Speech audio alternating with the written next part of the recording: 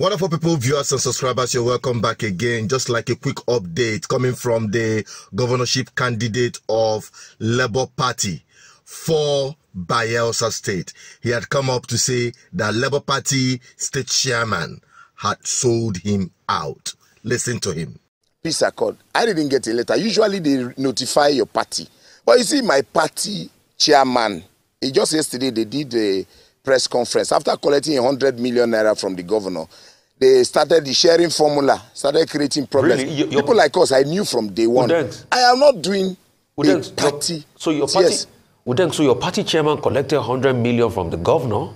Can you tell us more about that? 100 million naira and said he sent 50 million naira to national and though the national have denied it and then the sharing of the other 50 million naira started bringing argument. They went to organize a, a press briefing that uh, they have decided to support the adri the party chairman is an, an appointee of the governor. Right from day one i knew and i had blown this alarm before that these people are not working for me.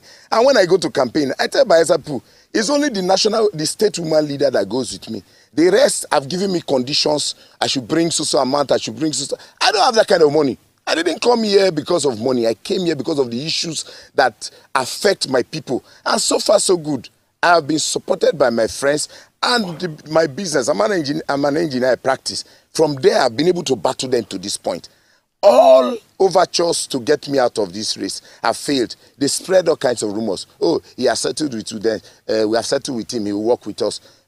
They paid them 100 million. The argument is on. They are fighting now. The, the chairman has left town. I have reported to the national chairman. I have raised uh, a publication to that effect. And they are dealing with it. For me, they are not important. They are going to be distracting me in this election if I focus on So, those so you're people. saying your We party. have known them to be most. so, so you're saying your party. so you're saying the Labour not in the Party. So you're saying the Labour Party in your state is already compromised. That the party chairman has collected 100 million and they are not working for you. I want you to talk about your reaction to the They did it Makaiba to Obi. statement. They did it to Obi too in your state. Tell us more about that. Okay, please. they did that, Toby. These are the kind of people we have in different political parties occupying positions as different um, um, you know at, at different levels. Let me put it that way at the state level at the at the national level even at the world level. You know it is transactional for them. It is not a surprise to see that uh, or to hear that they have sold him out in Bayelsa State.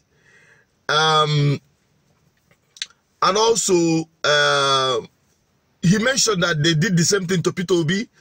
Nobody will be surprised about that.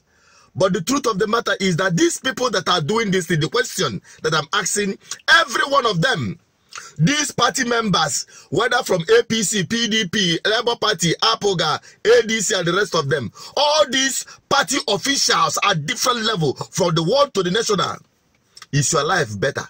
Since 1999 that you've been doing this, buying and selling transactional politics every four years, have your life better? Even the children you are training with the with that ill-gotten money, how far? Are they doing better than the rest of other people's children? Now you have become a curse upon yourself, not the rest of us, because we are all bearing the curse of Nigeria. But the truth of the matter is that at one point or the other, we must all collect. As this election is going on in Bayelsa, in, uh, at uh, Kogi, and in Imo State, I must tell you what comes out of it. The people of the state generally must bear the consequence if it turns south.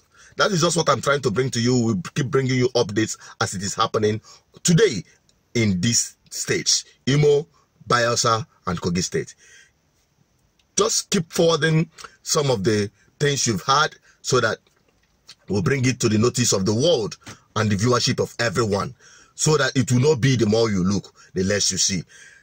Imolites, Anasa, Bayelsans, cool guys, it is up to you to decide your destiny in the next four years. Bye bye for now.